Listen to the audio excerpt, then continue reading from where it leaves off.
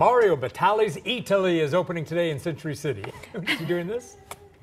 And there's already buzz about it online, and here's Steph at the social desk. Your Steph? mouths are already watering, aren't they? This is Mm-hmm. the first ever Eataly on the West Coast, and Danielle is going crazy over there because she Oh, used to me live in. Boston. I love the one there was New one in Boston, a couple in New Yeah. York, and then one in Chicago as well. So this is Mario Batali telling us, yes, it opens today at 6 o'clock. It's got three floors. You can shop, you can eat, you can learn. They're going to be doing live demonstrations to teach you how to prepare the food you buy. And then take a look at this. So close by is an Apple store, and uh, you are taking a look at uh, video from our own Jasmine Viel, who's live on scene, and our photographer Nathan. They took this video of that employee that you saw Oh, that's from cute. Eataly passing out apples to people standing in line for the new iPhone X. A lot of excitement going on in Century City.